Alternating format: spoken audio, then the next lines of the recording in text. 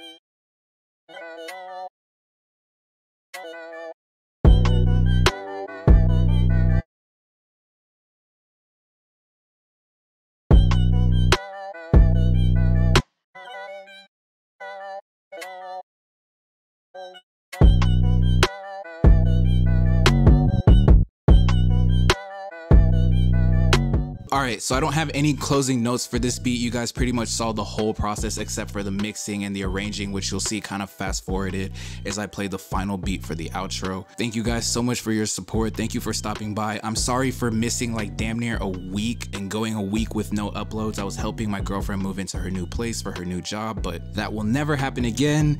The content is back and it's booming, so thank you guys so much for your support. Drop a like, subscribe, comment, all that good shit. Peace. I'm out.